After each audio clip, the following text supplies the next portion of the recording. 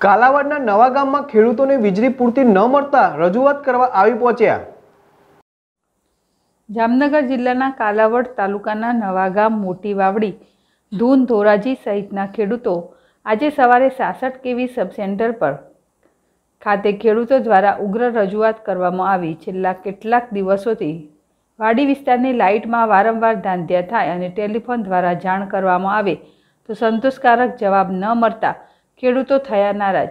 પૂરતા પ્રમાણમાં વીજળી ન મળતા ખેડૂતો પોતાના ખેતરમાં ઊભા મોલમાં પૂરતા પ્રમાણમાં પાણી આપી શકતા નથી.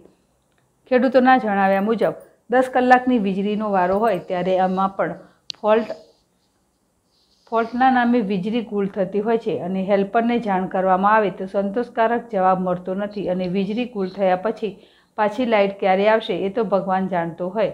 આ પગલે આજે કાલાવડ તાલુકાનું નવાગામ મોટી વાવડી ધુંધોરાજી સહિતના ખેડૂતો આજે સવારે સાસઠ કેવી સબસેન્ટર ખાતે ખેડૂતો દ્વારા ઉગ્ર રજૂઆત કરવામાં આવી પહોંચ્યા હતા.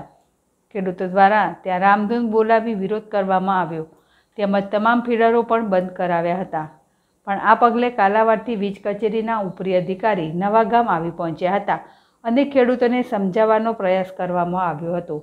અને ખેડૂતો દ્વારા અધિકારીને ઉગ્ર રજૂઆત કરવામાં આવી, જેના પગલે વીજ અધિકારી તરફથી ખેડૂતોની રજૂઆત અંગે નિરાકરણ લાવવા આશ્વાસન આપ્યું હતું.